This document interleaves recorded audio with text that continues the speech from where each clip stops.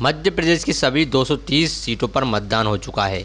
अब 3 दिसंबर को मतगणना के साथ ही परिणाम का इंतज़ार है। प्रदेश में भाजपा और कांग्रेस दोनों ही दलों के बीच ही मुकाबला बताया जा रहा है, लेकिन इस बार बसपा सपा के साथ ही बागी निर्दलीय चुनाव लड़ रहे हैं। इससे कई सीटों पर मुकाबला त्रिकोणीय हो गया है। कहीं बागी भाजपा का खेल बिगाड़ रहे हैं तो कहीं कांग्रेस का। ऐसी करीब एक दर्जन से ज़्यादा सीटों पर भाजपा और कांग्रेस के अधिकृत प्रत्याशी की धड़कड़ें बढ़ी हुई हैं।